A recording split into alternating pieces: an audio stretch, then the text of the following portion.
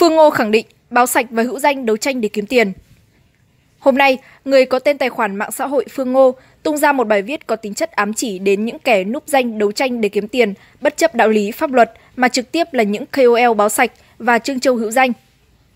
Người có tên tài khoản mạng xã hội Facebook Phương Ngô mà lâu nay đấu trường dân chủ thường nhiều lần nhắc đến với bộ ba đánh BOT cùng với Trương Châu Hữu Danh và Huỳnh Bửu Long và cũng từng là thành viên của nhóm báo sạch, đó chính là Ngô Thị Phương Oanh, cư trú tại phường Tân Tạo, quận Bình Tân, thành phố Hồ Chí Minh.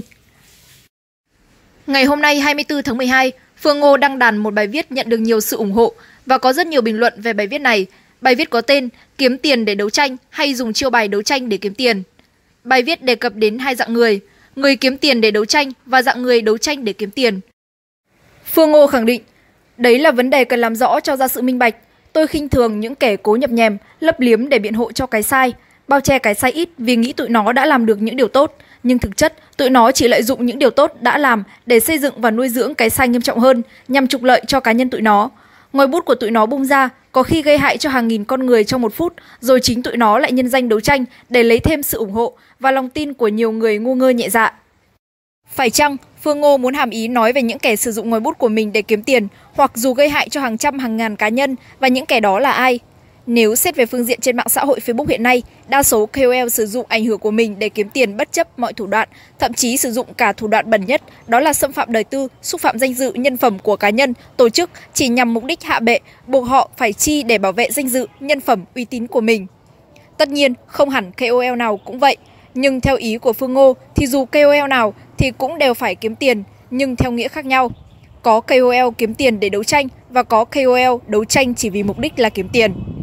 Trong bài viết, Phương Ngô chỉ duy nhất thừa nhận mỗi tên tội phạm chống phá Phạm Đoan Trang là người không vì tiền. Chúng tôi không bình luận về trường hợp Phạm Đoan Trang trong bài viết này. Và khi lên các cán bộ an ninh phường Tân Tạo, Phương Ngô vẫn khẳng định chắc định như vậy. Phải chăng báo sạch KOL Trương Châu hữu danh chính là kẻ mượn danh nghĩa đấu tranh để kiếm tiền? Chúng tôi khẳng định ý Phương Ngô nói như vậy bởi Thứ nhất, vào ngày 22 tháng 12, Phương Ngô lên gặp cán bộ an ninh phường Tân Tạo theo giấy mời. Trong buổi gặp mặt này, các an ninh đã hỏi Phương Ngô về Phạm Đoan Trang, báo sạch và bộ ba đánh BOT. Ngay khi gặp mặt các an ninh về, Phương Ngô đã đăng tải toàn bộ nội dung buổi gặp mặt và cũng rất thẳng thắn nói rằng riêng đối với Phạm Đoan Trang thì cô khẳng định không vì tiền, còn với báo sạch có sao cô nói vậy. Có sao nói vậy có nghĩa là nói gì? Câu hỏi này đã được rất nhiều người theo dõi trên trang cá nhân của Phương Ngô bình luận bên dưới bài viết ngày 22 tháng 12. Để trả lời về vấn đề này, Phương Ngô đã đăng tải đăng đàn bài viết thứ hai hôm ngày 22 tháng 12 nói rõ về vấn đề mà chính những người bình luận muốn biết. Cô nói gì về báo sạch và bộ ba đánh BOT. Trong đó, khẳng định có việc kiếm tiền để đấu tranh, tức kiếm tiền để đấu tranh chống BOT bẩn. Thời kỳ mà bộ ba này nổi tiếng vào thời năm 2017 và vấn đề đấu tranh để kiếm tiền mà trực tiếp là sử dụng ngòi bút bẩn để kiếm tiền bằng cách này, bằng cách trà đạp lên đạo lý, lên pháp luật.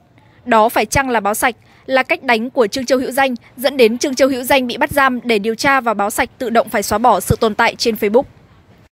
Thứ hai, nhìn quá trình đấu tranh của Phương Ngô, chúng ta cũng có thể hiểu ra vấn đề mà Phương Ngô muốn nói ở đây là gì và nói đến ai. Đó chính là quá trình từ bộ ba đánh BOT đến báo sạch ra đời. Khi đó, Phương Ngô đã phải đột ngột từ bỏ báo sạch ngay khi báo sạch mới thành lập chưa được bao lâu. Chính Phương Ngô đã nhận ra rằng làm tiền của báo sạch khiến cô bất bình về những kẻ từng sử dụng ngòi bút của mình để đăng bài lên trang cá nhân của cô và đưa cô vào tham gia nhóm báo sạch. Ngay khi Phương Ngô đưa bài viết này lên ngày hôm nay, các bình luận đều khẳng định rằng đã nhận ra lý do vì sao Phương Ngô từ bỏ bộ ba đã từng sống chết với nhau khi đánh BOT và từ bỏ báo sạch, một trang có thể tạo cho Phương Ngô tên tuổi của một KOL. Chỉ như vậy thôi, chúng ta đã biết được rằng Phương Ngô đã khai gì khi lên gặp các an ninh phường Tân Tạo về vụ đánh BOT, về báo sạch và về Phạm Thị Đoan Trang.